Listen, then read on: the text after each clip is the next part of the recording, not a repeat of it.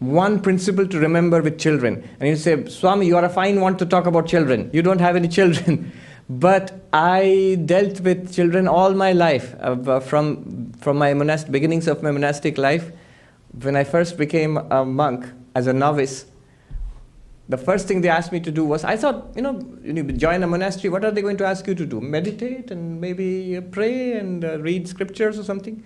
The first thing they said that, look, there is a hostel and there are 40 children, 10 year olds. Go take care of them. 40 children. If I had gotten, uh, you know, in samsara, in married life, I would have had one or two. But here, there, are, there are 40 here. So I dealt with kids uh, for many, many years.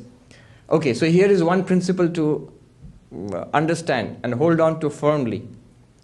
Children do not listen, they imitate. Children do not listen, they imitate.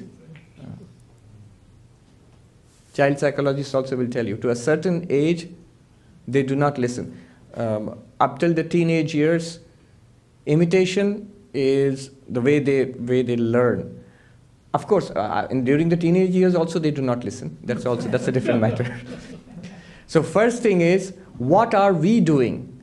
The parents and the grown-ups uh, in a family, in the school, and in society, what we do, that the children will do. They pick it up. So a spiritual household is something that the atmosphere is imbibed by the children while growing up. But otherwise, a spiritual household, a household of study and prayer and spiritual music and love and peace and serenity, uh, a household of where there is emotional comfort and support and structure. Is very good. That's a good idea.